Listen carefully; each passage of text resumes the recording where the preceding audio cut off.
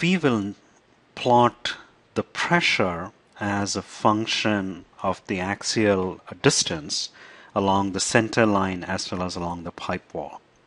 So if I go to 3D viewer, I need to plot the pressure along this line and along that line. And so first I need to create quote unquote locations corresponding to those lines.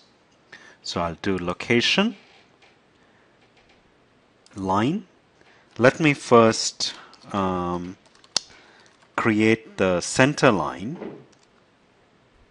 and that'll go from 0, 0 to 8, 0. Okay, and here I see that that uh, center line uh, is indeed what I want to create. And then I also need to create a line along pipe wall. And since I'm lazy, I'll just duplicate this.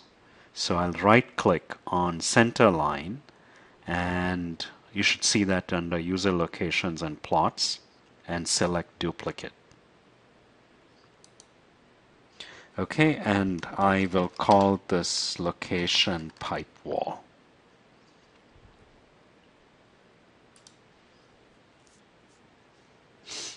And I'm still entering details of center line, so I need to double click on pipe wall here under user locations and plots to enter details of pipe wall. And so the these locations uh, don't change the x coordinate. Um, this coordinate changes because now it's at a height equal to the radius. Okay, and so you can see pipe wall has been created and that corresponds to the um, the right line in the wireframe. Okay, so now we have the location. So let's create the the chart. So I will go to insert chart icon and I will call this pressure variation um, actually let me call this axial pressure variation. And it turns out I just can't call this pressure because that's an internally reserved name. So you have to be careful about what you call these. Um, and so I'm going to enter details of axial pressure variation.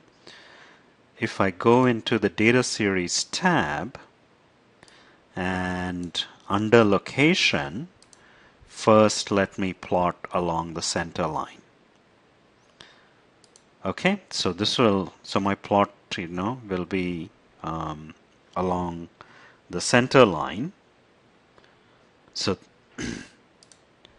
and so x-axis here I select what I wanted to plot along here and I wanted to plot um, the axial distance which is x. And if I go to the y-axis tab I specify what I want to plot over here and there I want pressure so nothing to change over there. And I'll click apply. So I see the pressure variation along the center line and it looks linear for the most part which is what one expects from fully developed flow um, and here there's a slight deviation from that where the flow is developing. And here again, you would get smoother plots if uh, one went uh, to a finer mesh. And in fact, one needs to do that. Now, I also want to add the variation along the wall to this plot.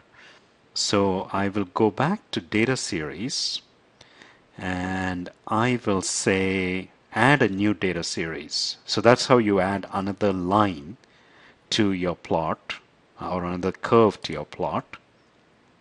And I will leave the default name. And for location, I will select pipe wall.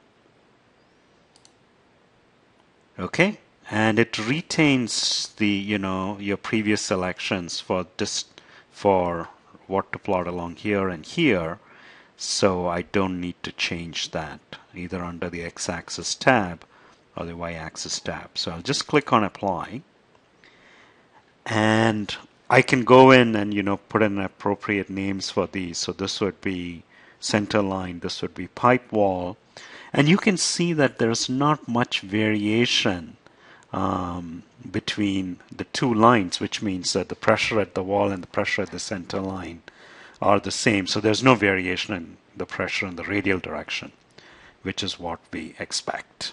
And then you can, of course, export this to a CSV file and do further processing in Excel.